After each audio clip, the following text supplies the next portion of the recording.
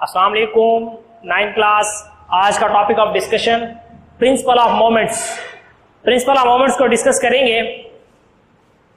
A force that turns a spinner in clockwise direction is generally used to tighten a nut I nut को tight करने के लिए spinner को clockwise move करवाएँगे या anti clockwise move करवाएँगे। That's two important MCQs हाँ जी अगर तो आप स्पिनर को ऐसे मूव करवाते हैं क्लॉकवाइज डायरेक्शन में तो इसका मतलब है आप नट जो है, उसको टाइट कर रहे हैं स्पिनर स्पिनर को क्लॉकवाइज मूव करवाएँगे तो नट जो है वो टाइट होगा। अगर आप इसको एंटी क्लॉकवाइज रोटेट करवाएँगे तो जो नट होगा, वो क्या होगा? लूज होगा।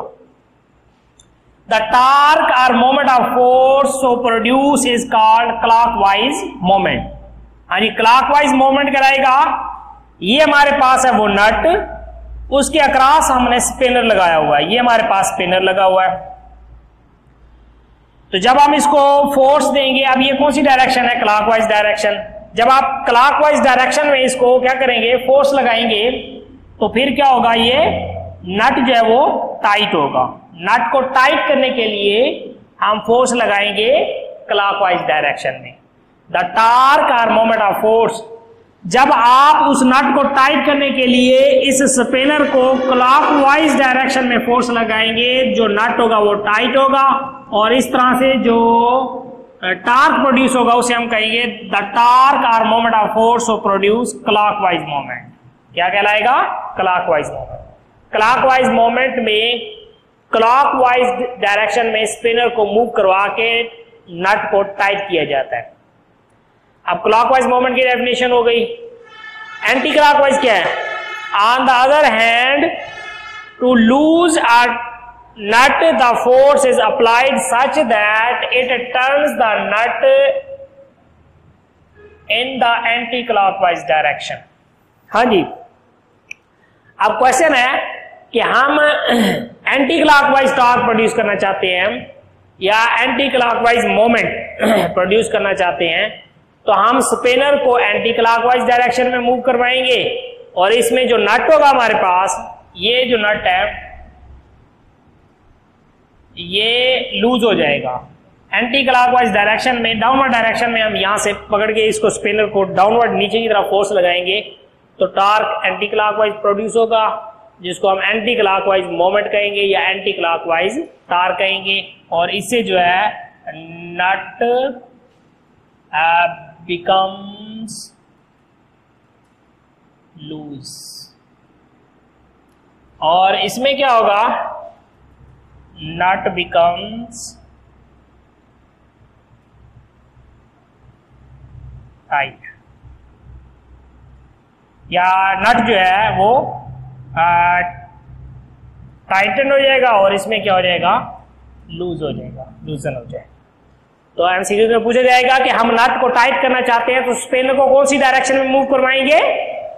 क्लॉकवाइज और अगर हम नट को लूज करना चाहते हैं, फिर हम क्या करेंगे? एंटी क्लॉकवाइज अच्छा यहाँ पर क्वेश्चन ये है कि हम नट को लूज करना चाह रहे हैं, लेकिन इस स्पिनर के ज़रिए ये लूज नहीं हो रहा। हम फोर्स जितना मर्ज़ी लगा ले, ये नहीं हो रहा।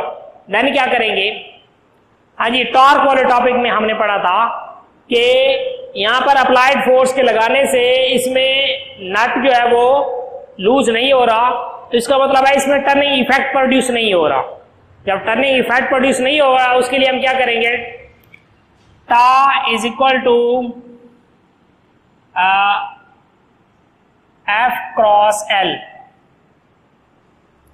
या तो फोर्स इंक्रीज करें आप फोर्स इंक्रीज नहीं कर सकते हम जितनी है हम लगा रहे हैं, लेकिन फिर भी नट नहीं ओपन हो रहा। फिर हम क्या करेंगे? लॉन्गर स्पिनर स्पिनर की लेंथ बढ़ाएँगे। इसकी तो नहीं बढ़ा सकते, इसको चेंज करके हम बड़ा स्पिनर लेके आएँगे, जिसकी लेंथ क्या होगी? ज़्यादा होगी। जब ज़्यादा लेंथ होगी, उसमें टर्निंग इफ़ेक्ट क्या हो जाता है? बढ़ जाता है। एक नट वो एक छोटे स्पिनर के ज़रिए लूज नहीं हो रहा तो हम जितना मर्ज़ी उसके ऊपर फोर्स लगा रहे, नहीं हो रहा। फिर हम क्या करते हैं, बड़ा स्पिनर लेके आते हैं। उसकी लेंथ ज़्यादा होती है, उसमें जो मोमेंट ऑफ़ फोर्स या टार्क प्रोड्यूस करने की जो एबिलिटी होती है, वो छोटे स्पेनर की निस्बत ज़्यादा होती है। तो ज़्यादा वो मोमेंट ऑफ़ फोर्स या टार्क प्रोड्यूस करेगा। थोड़ी सी फोर्स लगाने से वो जो नट होगा, जो पहले वाले स्पेनर से लूज नहीं हो रहा था, अब वो क्या हो जाएगा लूज हो जाएगा। तो लॉन्गर स्पेनर लेंथ उसकी ज़्यादा होगी तो मोमेंट ऑफ़ फोर्स क्या हो जाएगा? बढ़ जाएगा। अब बॉडी हमने ये जो बातें की हैं कि क्लॉकवाइज मोमेंट या एंटी क्लॉकवाइज मोमेंट आप प्रिंसिपल ऑफ़ मोमेंट्स को डिफाइन करेंगे। A body is balance body balance कब होगी? A body is balanced if the sum of clockwise moment acting on body is equal to the sum of anti-clockwise moments acting on it. Clockwise moment और anti clockwise moment दोनों क्या हो जाएँगे? बराबर होंगे then वो बॉडी क्या हो जाएगी? बैलेंस हो जाएगी। सीसा गेम दो बच्चे, दोनों साइड पर एक लॉन्गर हमारे पास लेंथ का क्या होता है? वुड होती है, लकड़ी होती है या आयरन पीस होता है, उसके ऊपर दो बच्चे बैठकर वो सीसा गेम जो खेलते हैं एक क्लॉकवाइज मोमेंट एक्ट करता है, दूसरा एंटी क्लॉकवाइज तो दूसरा एंटी क्लॉकवाइज तो पहले वाला क्लॉकवाइज तो वो बैलेंस कब होते हैं? जब क्लॉकवाइज और एंटी क्लॉकवाइज मोमेंट दोनों के क्या हो? बराबर हो देन वो बॉडी बैलेंस हो जाएगी। और इसी को हम क्या कहते हैं? प्रिंसिपल ऑफ़ मोमेंट्स तो ये प्रिंसिपल ऑफ़ मोमेंट्स की डेफिनेशन हुई। Body is balanced if the sum of clockwise moments acting on, the body is equal to the sum of anti-clockwise moment acting on it.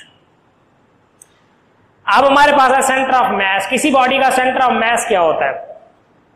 Centre of mass of a system is such a point वो point है where an applied force causes the system to move without rotation किसी body का centre of mass वो point होता है जहाँ पर हम फोर्स लगाएँ और वो बॉडी मूव करे, लेकिन रोटेशन पैदा ना हो विदाउट रोटेटिंग तो यहाँ पर देखिए ये हमारे पास एक बॉडी है।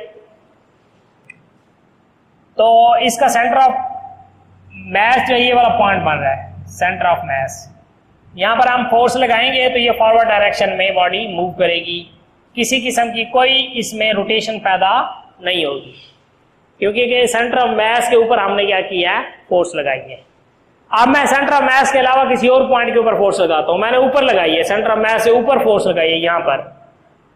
तो अब यहाँ पर देखिए ये सेंटर ऑफ़ मैस था, मैंने यहाँ से फोर्स लगाई है तो उसमें रोटेशन पैदा हुई है। क्या पैदा हुई है? रोटेशन तो यहाँ पर ये हमारे पास बॉडी ऑफ़ मैस था सेंटर ऑफ़ मैस इसका ये था, जहाँ पर मैंने अपनी फिंगर रखी हुई है। मैं अगर यहाँ से फोर्स लगाऊँगा तो देखें उसके अंदर रोटेशन पैदा हो, उसके अंदर टर्न पैदा हो। तो ये टर्न पैदा हो रहा है, ये टर्न पैदा हो रहा है। चले, आप ऊपर से लेकर, बिल्कुल नीचे की तरफ़ यहाँ से फोर्स लगाएँ, यहाँ पर फोर्स लगाएँ। सेंटर ऑफ़ मैस हमारे पास यही है, मैं यहाँ पर फोर्स लगाऊँगा तो अब इसमें ऐसे रोटेशन पैदा हो जाएगी। तो ये जो बॉडी मूव करती है, ऐसे ये रोटेशन पैदा होती है। लेकिन अगर ये सेंटर ऑफ़ मैस के ऊपर फोर्स लगाए, यहाँ पर फोर्स लगाए तो बॉडी ऐसे मूव करेगी। फॉरवर्ड डायरेक्शन में। विदाउट रोटेटिंग बिल्कुल स्ट्रेट फॉरवर्ड मूव करेगी। ये विदाउट रोटेटिंग है, और अगर अपर पार्ट और lower part up and down move करते हैं देन वो इसका मतलब है वो रोटेट कर रही सेंटर ऑफ़ ग्रेविटी क्या होता है? A point where the whole weight of body appears to act vertically downward is called centre of gravity suppose करेंगे ये हमारे पास एक बॉडी है, उसमें ये छोटे छोटे बॉडी सारे के सारे पड़े हैं। ये उसके नंबर ऑफ़ पार्टिकल्स हैं, ठीक है?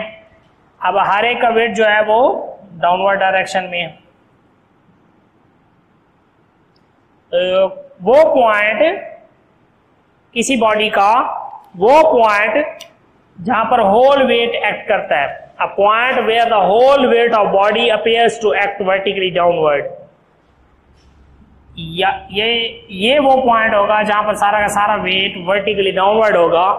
तो ऐसे पॉइंट को हम कहते हैं सेंटर ऑफ़ ग्रेविटी पॉइंट तो इनकी एक्सप्लेनेशन जो है, वो भी मैंने यहाँ पर एक्सप्लेन कर दी है।